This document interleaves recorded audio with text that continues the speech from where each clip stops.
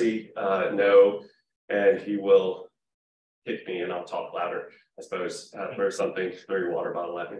So everyone, welcome. Uh, we're going to talk a little bit about graduate study in the UK and the fellowships that Office of National Fellowships works with that could help support you in this endeavor. My name is Craig Filar. I am the Director of Office of National Fellowships as well as one of the Associate Deans Undergraduate Studies here at Florida State. Uh, I'm also joined by Jesse over here. I don't know if you can see him or not. I don't know what the camera is. Um, so, so he'll be giving us, yeah, on. Uh, he'll be giving us a little bit of an overview of the second half of the program. Hey, uh, sign in, have a seat. We're just getting started. We're doing this multimedia today. oh, I can't get the story here. Oh, did it? That's uh, yeah, let's go. There. There we go. All right, that's something. All right. So, no, projectors are working. I know. Yeah. Uh, all right, so we're having some technical difficulties. We're going to be fine. All right, so we're going to go over the Rhodes, the Marshall, the Mitchell, the Fulbright, and the Gates Cambridge Scholarship today. This is a little bit of a whirlwind, and it's really just meant to be an introduction because there are five scholarships. They all basically cover the same thing. They all sort of are looking for the same thing with small little differences. And so to that end, it's easiest to start with what are the commonalities between these programs so that you have an idea of what the baseline is in terms of the programs, the applications, and what they are looking for in candidates.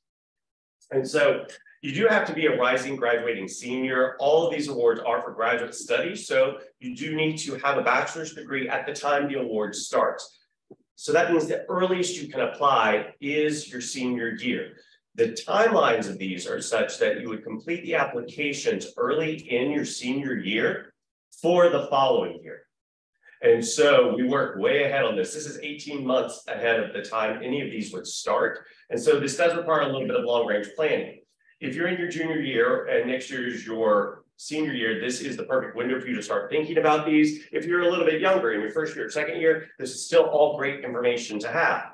If you happen to be a senior who's graduating in two months, that is okay as well, because you will have a bachelor's degree. So you can still apply for these awards as a recent alumnus. Now, uh, each of them, depending on which one it is, it's going to be for one to two years of studying graduate work in the UK or Ireland. Uh, we'll differentiate which are which, but it's basically to get a master's program. Some of them will allow you to start a doctoral program, but they will not fund you all the way through to the end in every case. Depending on the, the program, you're going to need at least three letters, but up to eight letters of recommendation. These are mostly academic letters or a combination of academic and character references. For these, most of them need a university endorsement. In other words, there is some sort of nomination or vetting process that our office facilitates that requires either an evaluation form or requires a letter. It also would require an interview from you with a faculty committee. This does not apply to all of them, but it does apply to most. Each of these has a strong essay component to them. And it's some combination, excuse me, of academic writing, as well as discussing service and leadership, as well as personal writing. And so depending on the award, it'll parse it out in different ways, but there is a substantive amount of writing for each of these that touches on these areas. Now, in terms of what they're looking for in applicants, you can see here, we sort of went this down to a few key points. The first is they're looking for students who have a strong intellect, character, leadership, and morality, as well as motivation and a seriousness of purpose. And then finally, a potential to make significant societal contributions, whatever your field happens to be. And I like to end on that point because oftentimes students will look at this award program and be like, well, I'm not sure if I'm the type of student that they're looking for. And they really are looking for students from almost any discipline that want to try and impact the world through their particular lens. Now, I will add the caveat that most of these programs that they will support for graduate work are not going to be pre-professional programs. You know what I mean by that is you will not find funding to go to law school as a Marshall Scholar or Rhodes Scholar. You won't find it to go to med school right? Now, this would make sense if you unpack it for just a second, because most of you probably aren't considering practicing law in the UK, which is what getting a law degree would be. And so if your plan is eventually to go to med school or to law school or MBA program or something like that here in the US, you are still eligible for this award. In fact, one of our Rhodes Scholars was a pre-med student, and they were thinking about what master's program could I take that would actually enhance my ability to be a stronger medical student and eventually a stronger doctor. And what he determined was that he was going to go to Oxford and pursue a degree in medical anthropology, which taught him about how to interact with various cultures through the medical lens that he then took on to become a doctor. He's now a neurosurgeon, so his pivot uh, happened in med school. But still, he thought very critically about how he would be best served and how he would be able to best serve by getting a master's education in the UK before he returned for his medical degree. Oftentimes that'll work too if you're considering a PhD here in this country to consider getting a, an adjacent or some sort of um, master's program that will enhance what you eventually want to do with your PhD. All right, a few other commonalities. You can see here, uh, in, enable intellectually distinguished Americans to in the UK, Ireland means they want you to have good grades. They want to see record of distinction in academics. Oftentimes they're wanting to see research or some other sort of engaged learning in your particular field. They want you to improve the world, not only through your academic discipline, but also through your leadership and your service skills. They want to see broadening worldviews and how you address issues across difference. They also want to strengthen international relations. Many of these awards are founded on the ideas of international cooperation, and they want to see how you will foster those goals and those ideals through the work that you do. And then, of course, personal and academic fulfillment through leadership and service to the community. How have you served our community here as a student? How will that carry over to the service and leadership you'll provide as a student in the UK? And then how does that carry back to your time after the degree program itself? All right, so what I'm going to do now is going to start going through each of the awards in turn, basically in two parts. There'll be a little bit about the award itself, just sort of what is the ethos, what are they looking for, and then a little bit about what the application entails, what does it require and what type of work will you have to do? Again, after the second or third one, you'll start realizing these sound really, really similar. And what I really hope you take away from this presentation is just a brief understanding of what the scope of the awards are. You can find a place where you might have the point of entry to be interested, but don't worry about the minutia at that point. That is what we are here to help you keep track of. Oftentimes students will come to us with an interest in one of the awards. We'll start working on it. We'll say, hey, this might also work really well with a few adaptations into one of these other programs. Or you might come to us because you're interested in one program. And as we start to work on it, we realize that one of the others might be a better fit for you. And so there's no expectation that you have a comprehensive understanding of all of this. That is why we are here to help. But more importantly, it's about what is interesting to you about this and how might you engage with graduate study in the UK in a way that feels authentic and correct for you. So the first one is the Marshall Scholarship. So the Marshall Scholarship, what does it provide? Excuse me very much. So uh, basically all of these are full rides for all intents and purposes. It's the easiest way to think about it. They're going to cover your tuition and your living expenses. There's not price tags attached to these because depending on the city you're living in, the degree program you're pursuing, the amount will be different. And so it's just easiest to think about these as your expenses will be covered during the duration of your award program. It may not allow you to live large, but you should be able to live in such a way that you can focus on going there and doing the things that the award wants you to do, which is study and become an active member of that community. You can see here, it covers grants, it'll cover uh, books, research, all that sort of thing. They'll let you get back home a few times over the course of your time there. And then uh, if you have a spouse, there is the opportunity with Marshall to have spousal support. And of course, all of these have an alumni network, which is just phenomenal. The alumni network, uh, in this case, decades worth of alumni, they are going to be there to help support you and mentor you, not only as a Marshall Scholar, but as you become part of the Marshall Alumni Network as well. The application for this one, uh, all of them, of course, will require an official transcript. This one actually, uh, they just changed this, we can change this to PowerPoint. This one's three letters of recommendation now. And then there's three essays here. There's a personal statement. Uh, actually, take it back. This one changed too. Uh, four essays here. We'll get this changed in the PowerPoint before we send it out. There is a personal statement. There is an ambassadorial essay. There is an academic essay. And then there's a leadership essay. And so each of those areas in turn will be spoken about. Uh, basically, it used to be three, and they separated two out. The leadership and the ambassador essay used to be one, and they put it in two separate ones because they were getting a lot of um, cross wires, and they realized they needed to make four separate essays there. Um, but it didn't really increase your word count, which is nice. Like for all of these, you eligible uh, on the first few, you have to be a US citizen. They're looking for American citizens to study abroad as a Marshall Scholar. Again, you have to have completed your first bachelor's degree by the time the awards start. So that's what I talked about before. You can be a rising senior, you can apply before you've graduated, but in order to be eligible this year, you must have a bachelor's degree by the end of academic year 2024 next year. For Marshall, it's a 3.7 minimum GPA, but usually a really competitive one is going to be even a little bit higher than that. And so it doesn't mean if you don't have a 3.7 that there's nothing for us here to work with. Just pay attention. They fluctuate uh, depending on the award that we're talking about. And you cannot have studied for or hold a degree from a British university. If you did study abroad in London, you're fine. That doesn't count. If you did some sort of exchange program for a semester in a British university, also you're fine. That doesn't count.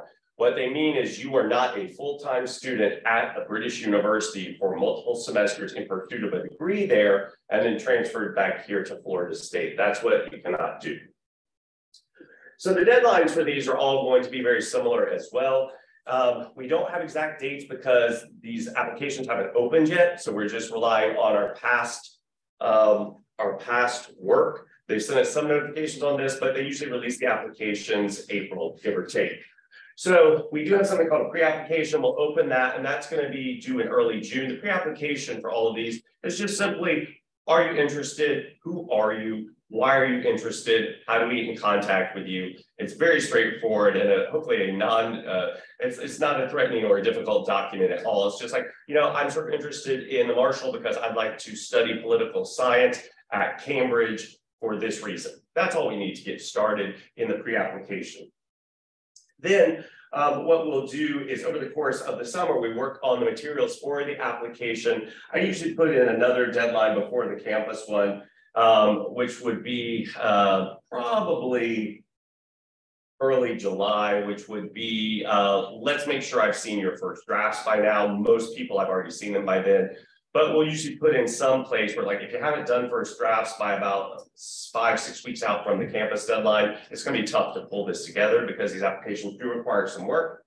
The campus deadline for each of these is your due date. Because we do have this internal process that I mentioned for all of these, where there's either an interview, some sort of review process, nomination process, we have to do these applications due before the semester even starts so that we have time to do the interviews, the review process, all of those sorts of steps for the national deadline, which for Marshall is usually late September. And so oftentimes we go on to these websites, and if you do that, we certainly encourage you to do that. If you see a deadline on there, please understand that is our office's deadline, not yours, because of the university nomination process. So if you're going on to one of the awards we talk about today, please always double check with us to make sure when our campus deadline process is, because if you miss it, you may become ineligible to submit a national deadline. All right, so whereas the Marshall, and I sort of skip over this part because I like to do it as a compare contrast to Rhodes, the Marshall is set up so that you can do one or two years of study pretty much anywhere in the United Kingdom. If you can find a college there, most likely it is a partner institution and they are cool with you applying to do work at that university. It can be in London, it can actually be in Scotland, it can be anywhere except Ireland, uh, which we'll get to Ireland in a sec. But any university in the UK for one or two years. The Rhodes Scholarship has very similar aims in terms of they're looking for world leaders, they want people that have strong service, they want strong character, they want strong academics, but it is solely to study at Rhodes, at the Rhodes House at Oxford right, as a Rhodes Scholar at Oxford. And so this is only to study Oxford University. So one of the first things that we'll talk about if you come and talk to us about this is, well, what do you want to study? Where do you want to study? And oftentimes somebody will come and say, well, I want to be a Rhodes Scholar. I'm like, great, what do you want to study at Oxford? It's like, well, I don't want to go to Oxford. I'm like, well, then you don't want to be a Rhodes Scholar.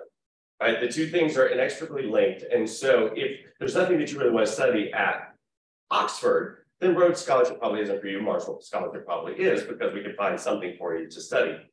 Whereas some folks will come in and they know that they want a very specific program at Oxford with this specific professor, and oftentimes Rhodes will be a good fit for them.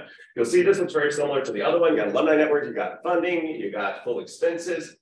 Application is going to look very similar. You have transcripts. This one requires five to eight letters of recommendation. It has to be a minimum of five, where the other is a minimum of three. This one is a minimum of five. There's a couple of writing pieces here, an academic essay, which is your proposed course of study, very similar to the one that's in Marshall, a personal statement, very similar to the one that's in Marshall.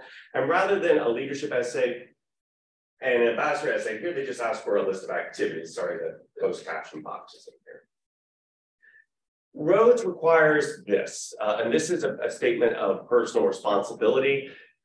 The interesting thing about Rhodes compared to all the others is we can workshop materials with you. This type of writing, this type of personal writing is very specific. And it's one that we discovered that not a lot of students have a lot of practice in. And we'll workshop these essays with you so that you can become familiar with the parlance of how to write about yourself.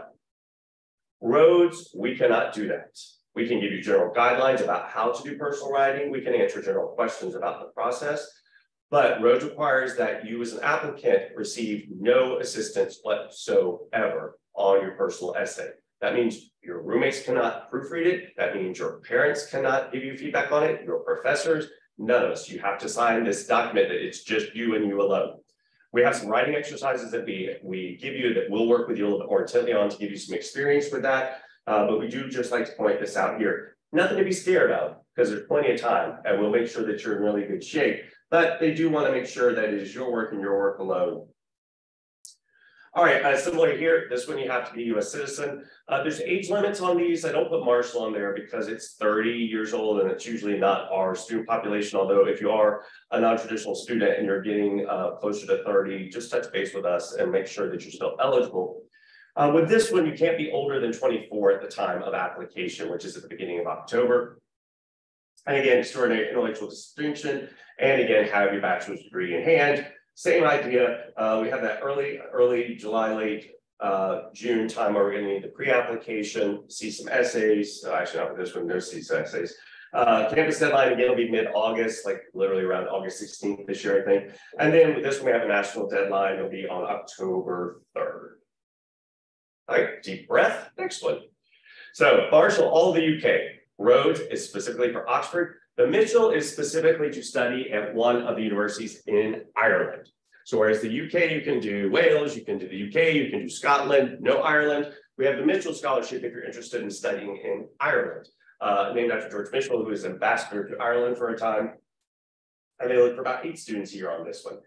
Now, a couple of things are different about this one. Marshall could be one or two years, Rhodes is for two years. Mitchell is specifically for one year and one year only, so you'd have to find a one-year master's program here. Uh, this one needs five letters recommendation, uh, specifically as opposed to three or five to eight. This one is just a personal essay, so it's not quite as much writing. Similarly here, you'll notice the same thing, citizen, age limit, intellectual distinction, have to have a degree.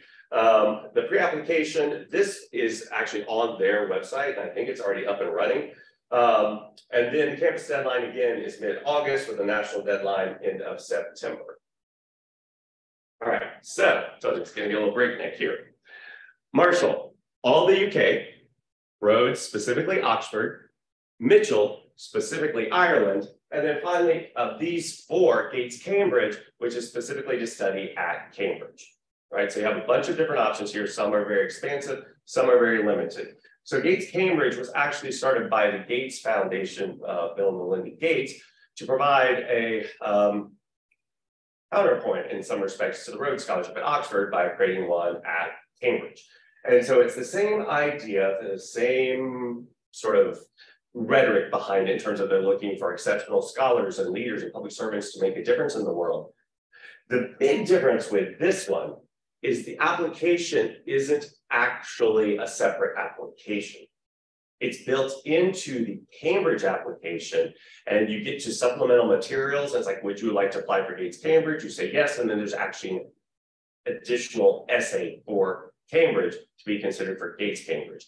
And so this one is the one where we don't actually have to have an official nomination from us as a university, but we work with you very closely on the application processes because it's very similar to all the others.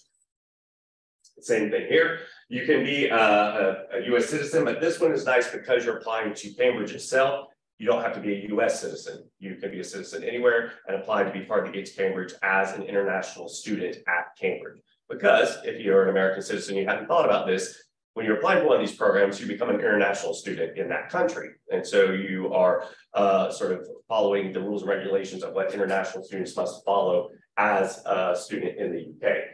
Similarly here, uh, high GPA scores, and then the deadline for this one's usually early, mid-early October. Now, this also has me point out this to you. Here you have to apply to Cambridge. In the other three that I just mentioned, you apply to the scholarship, and then if you receive the scholarship, they help you be admitted to the university. You have to be admissible, right? And so you have to meet the requirements of what that school requires.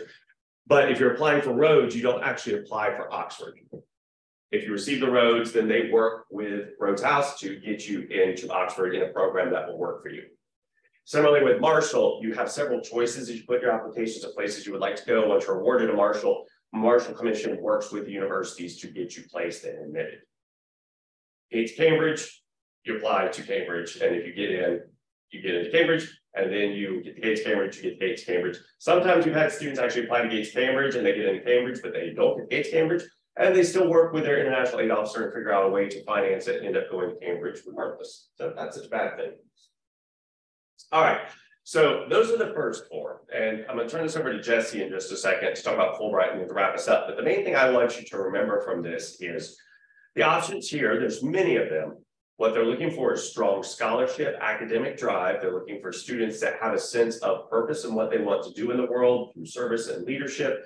Be strong ambassadors to build relationships between our countries and to do so in a way that is thoughtful and in some cases innovative if this all sounds good to you and you're also like, I don't know that that's me, don't worry about that.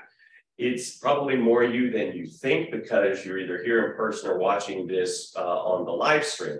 And so at least come in and talk to us. The one thing that we encourage more than anything is that conversation because oftentimes students will see these sort of big flashy titles and self-select out like I could never possibly.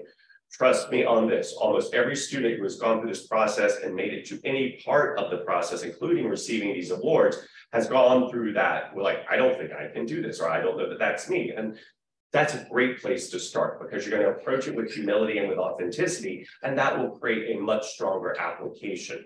So regardless of how far you go through the process, you will have something to be very, very proud of. All right, so quick review. Marshall, all UK, Gates Cambridge for Cambridge University, uh, Rhodes is for Oxford, and the Mitchell is for Ireland. Now, Jesse's going to talk about one of the other all UK options, which is even bigger than that, and that's Fulbright. Yeah. yeah. Thanks, Greg. Yeah. Um, and so usually um, uh, the through line for many of these applications begins with Fulbright, at least in my experience. And so uh, that's because Fulbright is open to uh, applications in over 140 different countries. And so we've had students that have applied to Fulbrights in other part, uh, parts of the world, and then also applied to a Marshall Mitchell Rhodes, Gates, Cambridge. Um, but we also have students every year that uh, will start with a Fulbright application to the United Kingdom, and then also apply to one of the Mitchell, Marshall, Gates, Cambridge, uh, all of that. Um, and so what's nice about the Fulbright um, is what they have in the United Kingdom are called partnership awards. And so if this is entirely new to you and you haven't even really considered studying in the UK before, and it's like, I don't even know what universities exist, I would start with a Fulbright application because you can go to their website you, uh, which is uh, us.fulbrightonline.org. Um, we want to make sure that you're applying to the student program, not the uh, Fulbright Scholar program. That is for faculty members. Make sure we make that distinction clear. Um, but if you click on the United Kingdom, what you're going to find is there's about 50 or so partnership institutions. Uh, many of those, and you'll see it's like one Fulbright fellowship at, um, um, oh goodness, well, uh, uh, Cambridge and one uh, at Oxford, and then you'll see one at the University of Sheffield, and then one at the University of Reading. Sorry, I was I think I was forgetting my uh, my UK institutions for a hot second. Um, and sometimes you'll see that phrased as one award for uh, for an academic slash study award. Uh, and if it's left very vague, what that means is any graduate degree program at the University of Reading or Sheffield or any of the partnership institutions um, any graduate degree program there is eligible. You'll see that there are a few uh, that are very field specific. So maybe it's a master's degree uh, in global health, or maybe it's a master's degree, uh, something in the creative arts. Uh, and if that's not you, then great, you can just find that out. Uh, but I think it's great to start with the Fulbright Awards because you can see what are some major institutions that are eligible, and then you can start digging into those, find what best vibes with your graduate degree interests, um, and then we can start looking at, okay, so because for Marshall, you can, uh, I believe you can apply to two institutions, your top, and then you have your backup, if, I, if I'm correct. Um, and then uh, we can start looking at um, like I said, the uh, the programs at that institution that work best for you. Um, and so with so with Fulbright, it's the same thing. It's going to be covering uh, your graduate degree, your travel expenses, everything that you need. This is three letters of recommendation. Um, and the two essays that you're going to be writing are very similar to what you're going to be writing for any of the other applications. They're looking for um, why do you need to be studying in the United Kingdom specifically? Why do you need to be pursuing this graduate degree program? What is the nature of that program? Because some um, uh, may also uh, involve research experience. Not all of them will. Um, so we want to know what are the coursework that you're taking, but also will there be a thesis component? If so, what are you going to be doing with that? Uh, and then there's a one-page personal statement attached to that as well. Um, the Eligibility is going to be essentially the same as what you're going to see for any, everything that Craig talked about. Um, and as you can clearly see, um, the deadlines for all of these programs are going to be concurrent. And so you're going to be working on a Fulbright application the same time you're working on a Gates, the same time you'll be working on a Rhodes. Um, and so like Craig said, the easiest thing to do right now is to set up an appointment with us so we can sit down, talk about your goals, talk about your plans, talk about what institution in the United Kingdom would be the best fit for you. And then we can start setting a plan for what your summer looks like. Because we know many of our students uh, may be studying abroad this summer, maybe pursuing internships, maybe researching and have very busy schedules. And so we want to make sure that we're at the forefront of this, of this application. So we make sure uh, maybe we can allocate some time during the summer when you know you're going to be your busiest uh, to allow you to focus on that opportunity that you're pursuing. Um, the other item that can be really helpful when it comes to starting this process early is, uh, for example, for Fulbright, um, what you're going to need to do, and this is one of those processes where you're applying to a Fulbright separate from your application to the university. Uh, and so Fulbright uh, requires for 99% of the countries that you would be applying to uh, what is called a letter of affiliation. Uh, and that's essentially someone in the country or at the institution that you're wanting to apply to, saying they'd be willing to work with you, support you through your research, support you through that graduate degree program. Uh, most universities abroad um, will shut down over the summer. Like, for example, if you're applying to a Fulbright to France, they will not respond until maybe, I don't know, uh, around October, maybe around the deadline. Um, now, and, and so the nice thing for a Fulbright application to the United Kingdom is those letters of affiliation uh, are optional. Your acceptance to the university will essentially serve as your affiliation letter. So you have that safety net. But for any student that I'm working with on an application to the UK is if you can make that contact, if you can make the connections at that institution, you absolutely should do it. You still have the option to attach an affiliation letter. Um, and so you want to make sure that you're reaching out to those institutions and that faculty uh, to early uh, to make sure that you're establishing contact.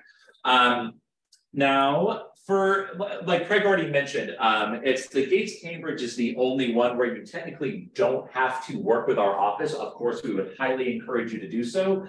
Uh, but Fulbright is one of those opportunities again uh, where if if you're applying, I don't even think you can as a um, as an undergraduate, you have to apply through your uh, undergraduate institution. But say if you're uh, if you're attending today and you are currently a senior and you'll be graduating this semester, but you're wanting to pursue a Fulbright, technically as an alumnus, you can apply at large um, and, and apply entirely on your own.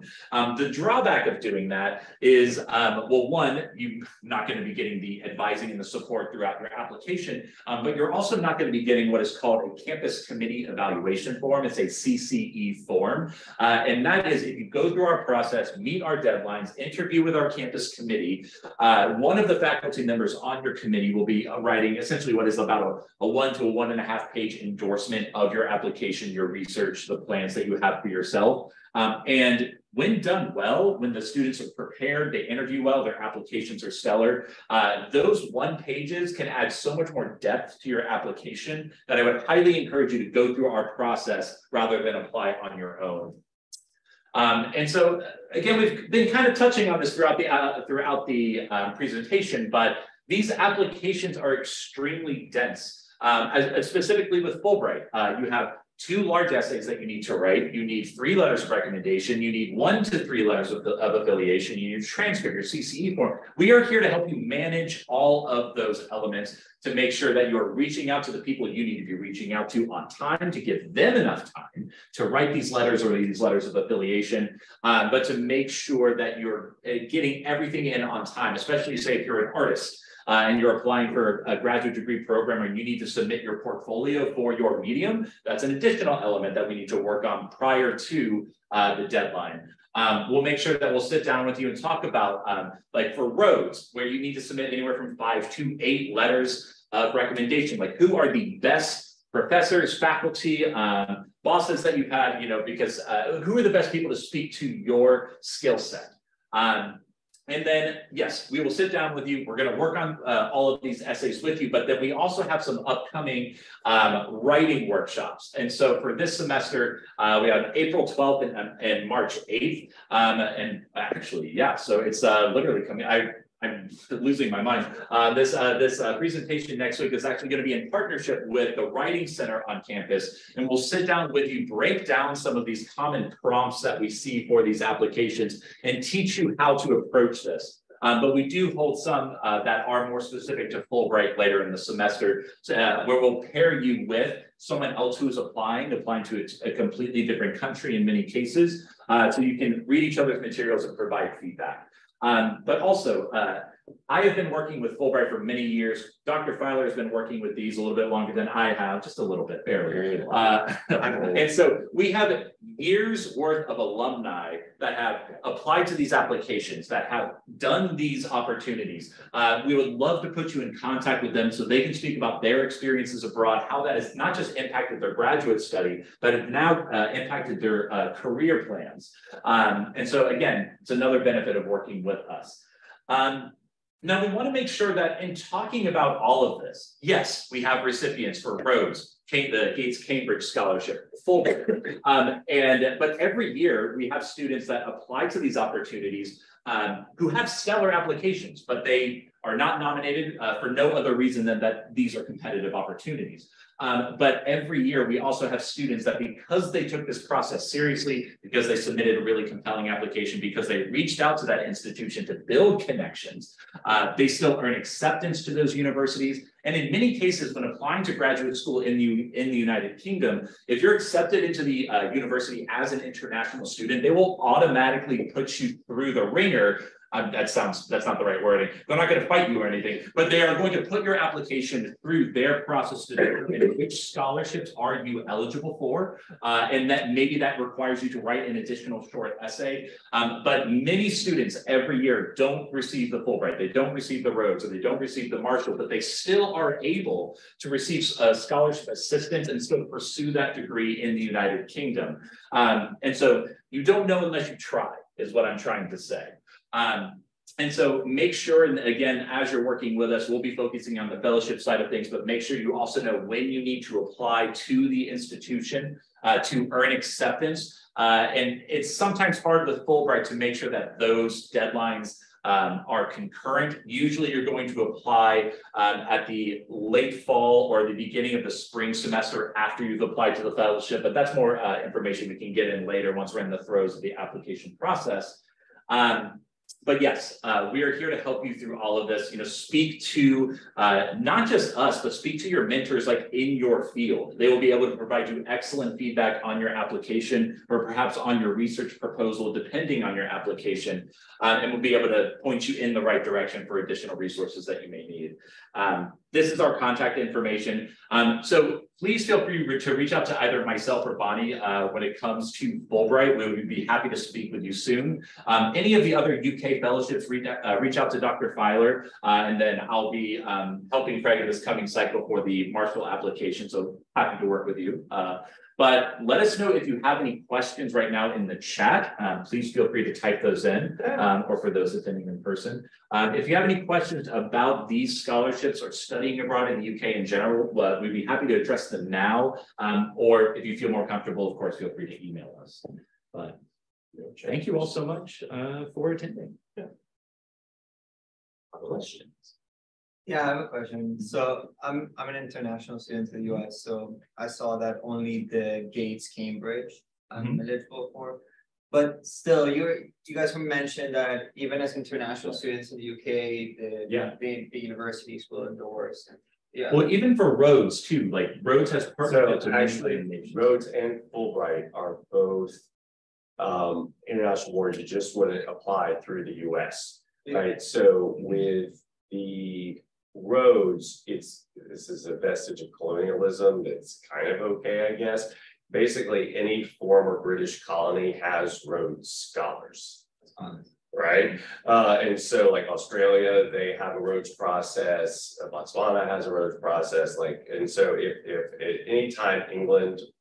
Was uh colony colonizing there, they usually have a Rhodes scholar or two. I'm from Lebanon, so my colonizer is France, so. Yeah, So, um, and Fulbright, it works both directions. And so while this may not help you go to the UK, Yeah, the way Fulbright works, if you ever wanted to come back here for graduate study, Lebanon would have a Fulbright program to come back here to the US to graduate study.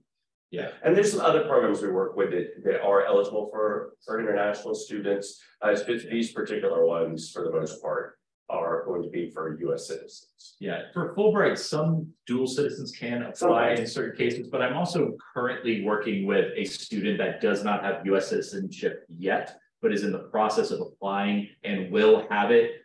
Hopefully, you know, uh, by, before their Fulbright would start. And so, uh, in, in those cases, we're more than happy to work with you as well, but, um, but yeah, feel free to reach out to us and we can. I can still work with you guys for the Cambridge. Yeah, absolutely. Would be happy to. Yeah, absolutely. Yeah. And I have a question because my, like, my background is mostly academic. Do they, do they seek like extracurriculum, like?